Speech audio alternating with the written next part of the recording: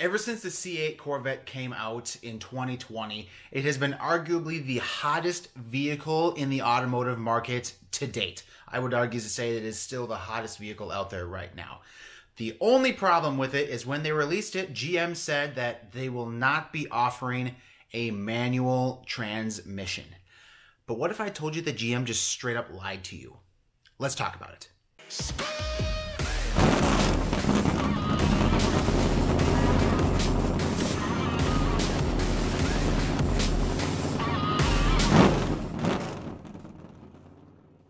Now I know that can be a hard pill to swallow. I just told you that one of the largest companies in the United States just straight up lied to you.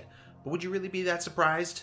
I recently got off the phone with one of my contacts at GM, and for their privacy's sake, obviously, I'm going to refer to them as somebody else. So I'll be referring to them as Prometheus.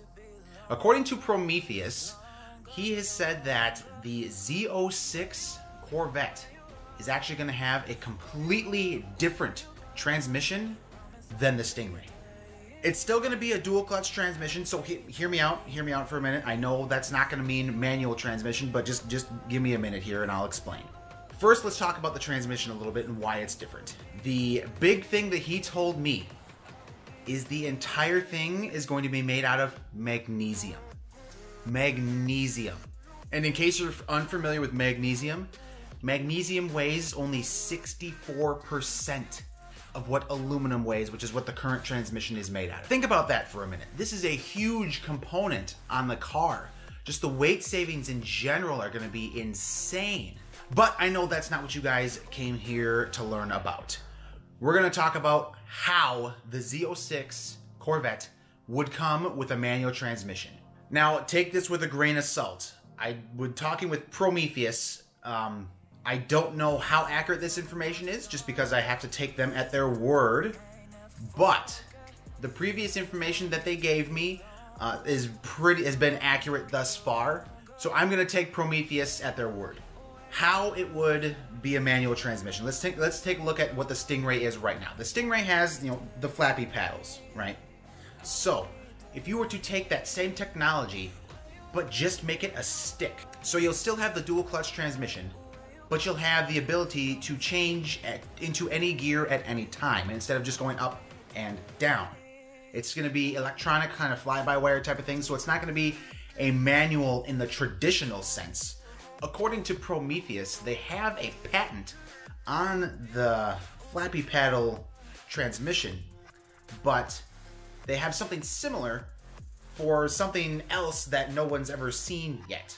So I would wager that that has something to do with a type of electronic manual or an e-manual, not like the e-gear from like the Lamborghini or anything like that. I'm talking an actual stick that you have in the center console and you can shift from 1 to 2 all the way up to 7.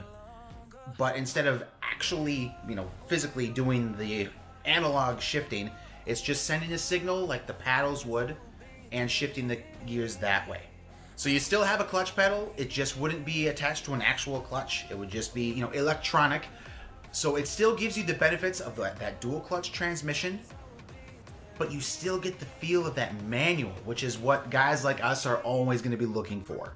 So just to recap, the new transmission on the Z06, and this is Z06 specific, this will not be available on the Stingray, is going to be made of magnesium, and it's going to be completely different from the one that is in the Stingray. And I would assume part of that has to attribute to the power gains that we're going to see on the Z06, um, so that this transmission can handle that. And then we have the possibility of having a manual. I'm not saying this is confirmed or anything, but based on what Prometheus has told me, it is extremely possible that we'll see a type of manual transmission in the next generation Z06. Whether that be you know an act an electronic one, um, which I would personally be completely okay with. You still get the feel of shifting and banging through the gears, but you still get the benefits of that dual clutch transmission.